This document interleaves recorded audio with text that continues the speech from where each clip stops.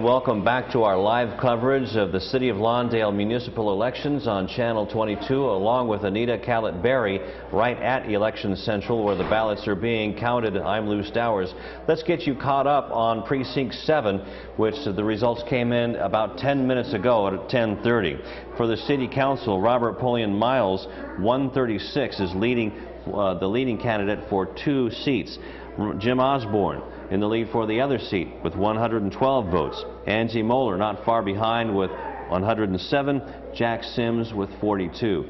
In the race for mayor, incumbent Harold Hoffman, 151 votes. City Councilman Jim Ramsey, 61. Fred Siegel, community activist, with 23. The all-important ballot measure, A, for the community center funding, yes, 173 to 43. So a resounding lead there. And we've just gotten news that precinct number one is reporting. So Anita Khalatbari in the council chambers, take it away. Back in, inside the City Council chamber, we've got more results for you for precinct number one. Let's take a look at the numbers. We have Mr. Ramsey with 72 votes for precinct number one. We have Mr. Harold Hoffman with 216 votes.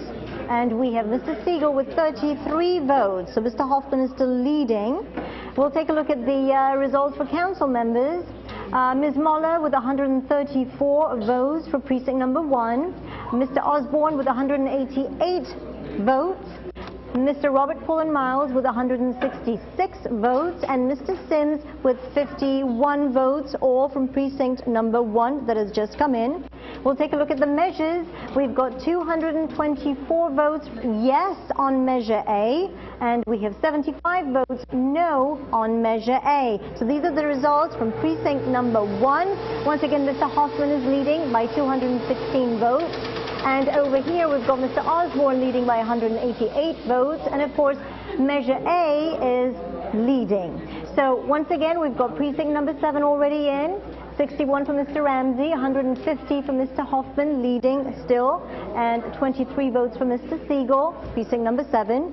We'll take a look at the uh, council members again for precinct number 7. We've got 101 votes from Ms. Ms. Moller, 112 votes for Mr. Osborne, 136 votes for Mr. Robert Pullen Miles, and 42 votes for Mr. Sims. And once again, Measure A is leading, 172 votes yes on Measure A from precinct number 7, and 43 votes no on Measure A from precinct number 7. Uh, I just heard, uh, we all heard the sound of that lovely machine going again, so that means we're going to be getting more and more results coming from the other precincts. Um, the next precinct that's going to be coming in is... We're not sure yet. I'm going to get that back uh, for you. So just stay tuned. We'll be coming up with, uh, we have just two more precincts, precinct number four and precinct number nine, before we actually know the results. So this mayoral race is getting very, very exciting. Mr. Harold Hoffman, the incumbent mayor, is still leading in both of the precincts. And hey, it looks as if he might still be leading the other precincts as well. So we'll be back with more results as we get them in. Uh, do you know which precinct is going to be coming in? They're, they're going to let me know in just a few seconds. So it's going to be exciting. Just stay tuned. We'll be right back. Back to you, Lou. Thank you very much, Anita. Great job inside the council chambers as two precincts down, two to go. And the all-important Measure A, which is the community center measure to see if there will be $1 million of city money put towards the funding of that new community center, which will be the central for uh, seniors and youth as far as they're getting their services and also some activities there. Should be a nice, nice uh, community center. Larry Rudolph uh, telling us a little bit about some of the plans that he would like to see put in there. And uh, so right now it's 396 yes, 118 no for that all-important measure. And right now it appears that uh, Mayor Harold Hoffman is well on his way to a 10th uh, 10th term of office here as mayor of the city of Lawndale with city council member uh, Jim Ramsey not far behind and Fred Siegel not quite into triple digits yet.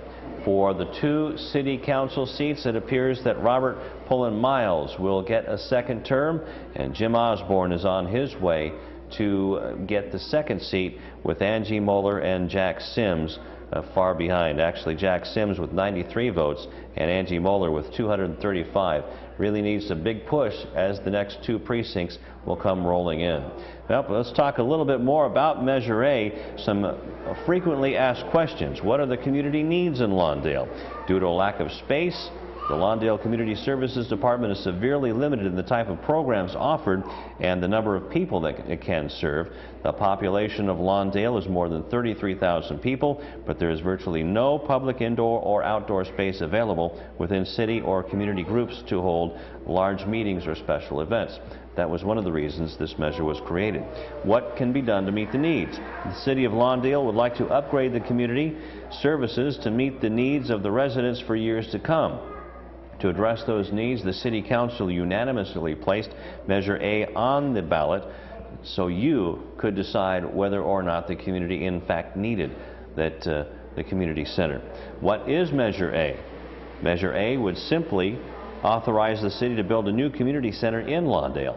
Measure A does not authorize a tax or a fee to fund construction, which is the good news of the community center. The city already has funding available, so no money out of your pocket, which is always good news, especially now. And can the city build a community center? The city law requires a vote of the people to permit the city of Lawndale to spend more than $1 million to construct a new building.